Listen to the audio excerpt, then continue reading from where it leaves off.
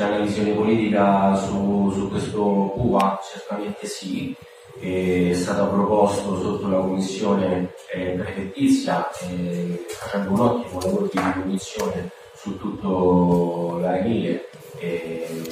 e poi chiaramente ricordo a tutti che è stato eh, accolto eh, da Roma Capitale con riunione di giunta e da lì chiaramente eh, siamo sempre stati in contatto eh, sia l'amministrazione municipale che con quella capitolina per seguire i lavori eh, per arrivare a avere chiaramente un'idea di eh, lungomare eh, che possa essere eh, fruibile in modo costante, 365 giorni l'anno, da parte dei cittadini e sicuramente bello perché gli elaborati che sono stati fatti sono, sono molto importanti e interessanti, quindi eh, se c'è una visione politica su questo vi ho risposto sì, e l'obiettivo chiaramente secondo me già siamo andati anche oltre rispetto al 50% eh, di ciò che eh, il, la Regione Lazio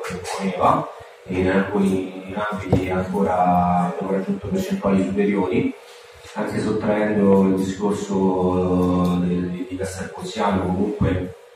aumenta eh, notevolmente eh, la, gli spazi pubblici e spazi costruiti, quindi andremo ad abbattere ulteriormente eh, tutte quelle situazioni che sono state descritte eh, ampiamente durante questa commissione. Quindi noi abbiamo idea sicuramente che questa è una fase eh, importante anche noi delle piccole osservazioni che, che, esporremo in questo consesso e quindi eh, poi verranno chiaramente portate eh, prima possibile. Abbiamo i tempi, i tempi sono, sono quelli che sono stati descritti eh, io ritengo che per esempio eh, il, non sarà soggettato alla VAS se lo riterrà opportuno la Regione Lazio come ha fatto per esempio il Fiumicino e con altre località e come Ezia credo e questo che cosa significa? significa che se entriamo in eh, in quell'altro processo ci sarà eh, necessità di ulteriori 180 giorni secondo euro e quindi poi ognuno farà le sue considerazioni. È evidente che eh, i passaggi di conferenza di servizi dove ci sarà il Demanio dello Stato che il proprietario eh, dell'arenile e che ci chiama praticamente su delega semplicemente a gestire eh, con un regolamento eh, i servizi su questo eh, litorale, eh, è evidente che riteniamo che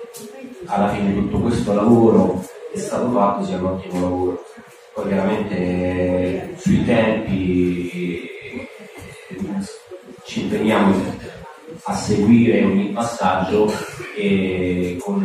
estrema fiducia che, che possa essere realizzato quanto prima.